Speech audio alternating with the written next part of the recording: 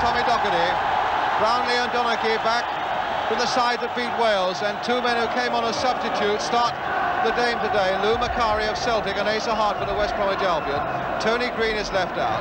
And Asa Hartford, of course, who really was a tremendous success against Wales, the number 11, with so much positive running, transformed the game on the Scottish side.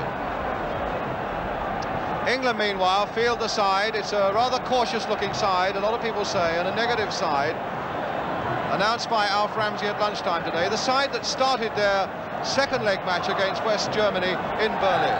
It's the old guard, if you like, back in action again. That powerful back four of Madeley, McFarland, Moore and Hughes that really will take some beating this afternoon.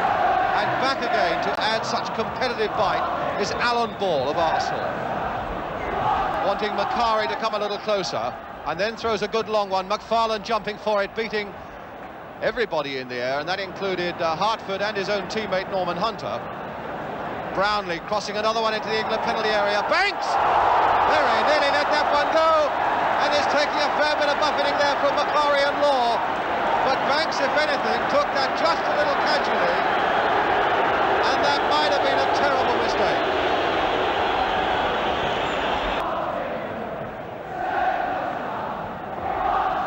Hunter towards Chivers. But under pressure from McNeill, he can only nod it to Lorimer. Macari getting underneath this one, and McFarland keeping tight, and now Archie Gemmill again. Cross there towards Law! And a goal kick to England.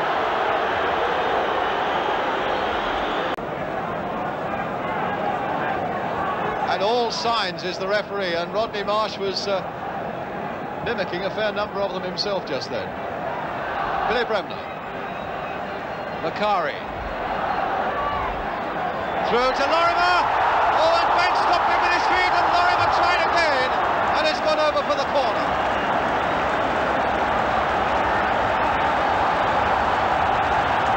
see now the pickle there that they got themselves into. Lorimer was completely through. Banks gets it, but puts it up in the air, and there's still a chance until he quickly Here's the corner. away. Hartford. And kicked away by Storey.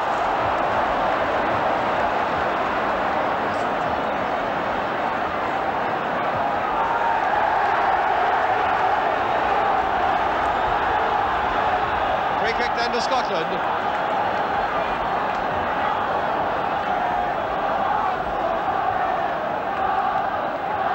Donachie.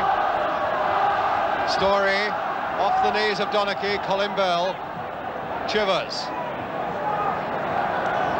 At the moment, an, an unenviable afternoon for Chivers. So much of it coming in the air to him, and he's been so tightly marked by McNeill, who himself is so good in the air. Alan Ball. Swept wide, but straight to Brownlie. Forward to Lorimer. Law. Gemmill. Scotland looking much more together at the moment than England are. Donachie. Bremner. Oh, by Hunter.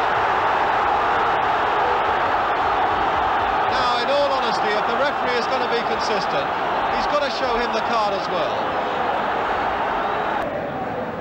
and Lorimer. Law flicking it there for Hartford, a nice little flick by Hartford to Lorimer, and stopped though well by Colin Bell, and now it's with Ball. Bell, Madeley's gone steaming down the right for him, that's the ball for Paul Madeley, but he'll be lucky to get to it. Flick back for Colin Bell again, hit first time, and really no more than a yard and a half wide from Colin Bell. Hunter, Bremner. Oh, he only put that as far as Ball, and now Chivers back to Alan Ball again. Bell wanting it short and getting it. Chivers right through there, Ball!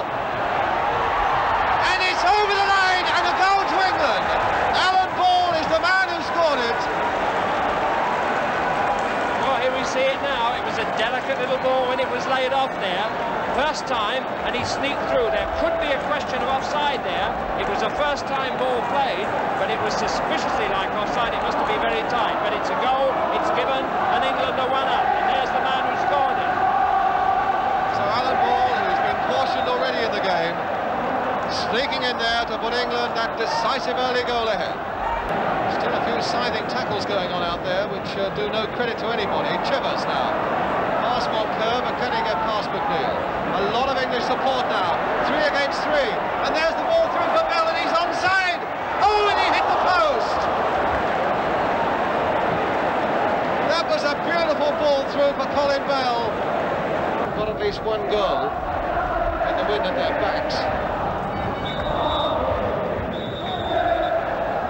The whistle for half-time in this home international match at Hampden Park. With the only goal of the first half coming from Alan Ball for England. Which Chivers will take. Bell and Marsh in the six-yard area. And Bell getting in with his head. Hunter turning it back again. And that must have been behind when Bobby Clark hit it. Or rather when it hit Clark, because the goal kicked given. And Donachie now for Scotland quarter of an hour, the second half gone. And still England leading by a goal to nil. Macari to Johnstone, two Celtic players there. Cutting inside Hughes, and then allowing Hunter to come in and find Alan Ball. And Chivers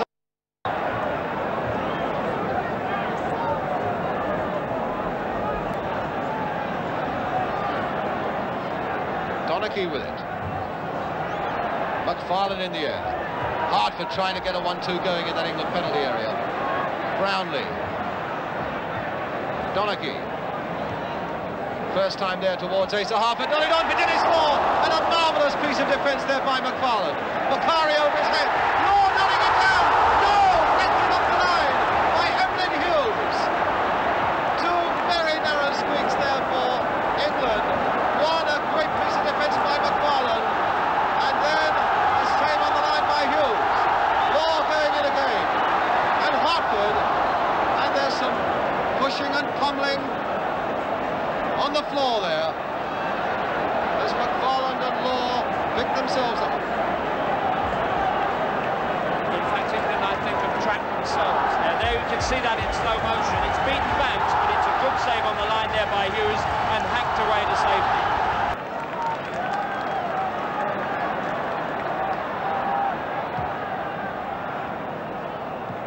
Well, Hunter and Bell misunderstood each other's intentions there. And Law, McFarland playing it back to the And a fine smother save by Banks. Put into a dreadful predicament there by McFarland. There we come with the back pass. And Macari was on it. And a superb smother save by Banks. The corner now with Johnstone. And Banks gathering it well. Rodney Marsh then to Emlyn Hughes. And hitting one just over. Pushed there by Clark. Phew, he said, because he knew there wasn't very much to spare for Scotland there.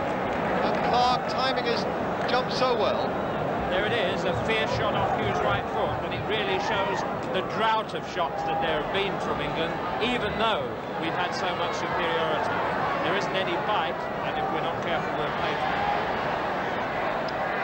But Alan Ball then with England's corner, for which Roy McFarland has gone up again. Marsh getting in there with his head, but knocking it the wrong way. Brownlie to Lorimer, and Scotland coming away, the blue shirt streaking forward again. Played for Law. Lorimer. And Bremner on the far side, mainly timing that interception well. McNeill. Donachie. And mainly cutting that one out. And really little chance of getting to Macari, and now it's with Ball. Chivers. Marsh completely unmarked over on the left, and Bell has spotted him. What a good ball. Played almost without looking by Colin Bell to Marsh. And now for Colin Bell to line one up. And it's saved by uh, Clark And it looked for us a moment as though it might go through.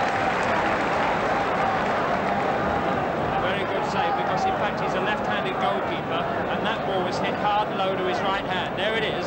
He was half going the wrong way and a fine save there from Clark to keep it out. Scotland with another substitute, Tony Green.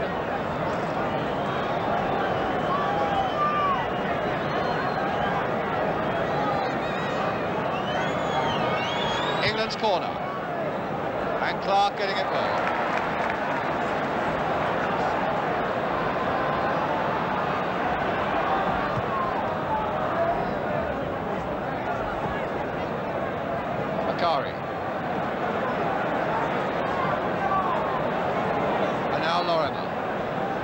Donachie.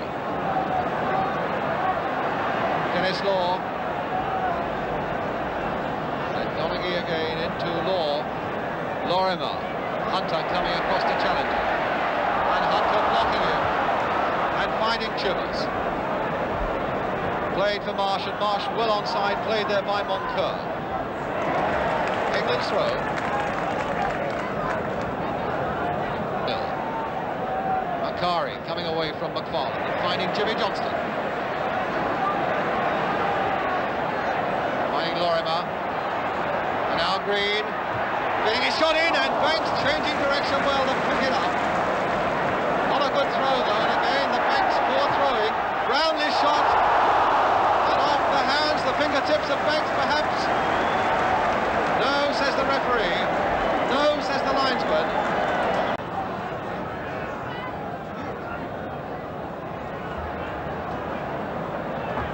McFarland. And now Chivers. Bell on the far side. Macdonald's making a run. And Chivers with a head just wide. Jumping up and down Martin Chivers, the number nine on the far side. In frustration and maybe a little anger that he felt that that was going in.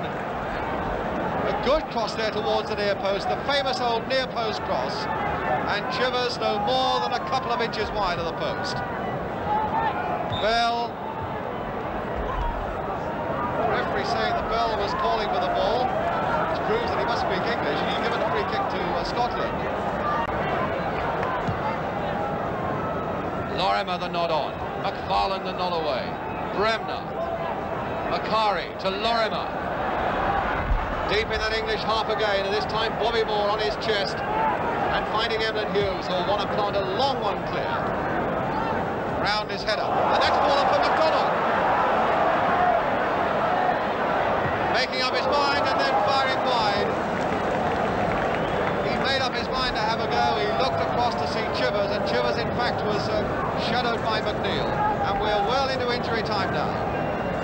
Clark with the kick for Scotland. Tony Green. Hunter. And the final whistle has gone. And Scotland have been denied the championship outright.